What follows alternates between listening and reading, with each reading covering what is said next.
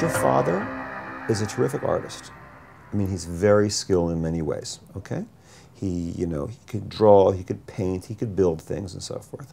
Does that help you? A lot, lot, lot of kids whose fa fathers are accomplished and have skills will go, no, I'm not going to do that. I had to have gotten some of my art talent from him, even just from absorbing it like a sponge. Watching it. And he speaks very little. Whenever he spoke, I would take that like almost like wisdom.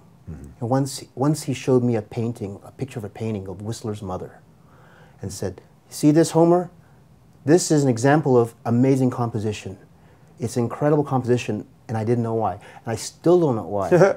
but it makes time. me think about mm-hmm. composition. So mm-hmm. the first thing when I frame up a shot or photo or even structure and edit, I think composition, the build, the entry, the story, the peak, how it finishes, right. and what it leaves you feeling. Right. That's all composition, whether it's musical, visual, tactile, emotional. It's composition. Mm-hmm. It is. There's highs, there's lows. Exactly. But you you remember that moment without even the explanation of why it was a composition. You right. remember the fact that for some reason it was important for him to show you this. What else did your father do? Do you think?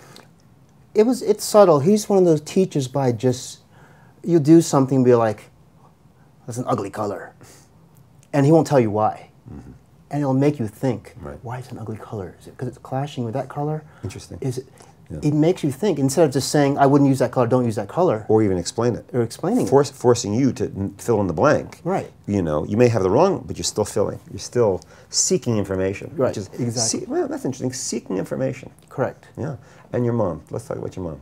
Well, she was the you know the moneymaker, the workhorse. She was a nurse, uh, very strict, put me in my place many times if I have any discipline at all, it's from her, for sure. Mm-hmm. Did she put your father in his place too? I don't know. When they talk, I don't understand them. it's a bunch of gibberish.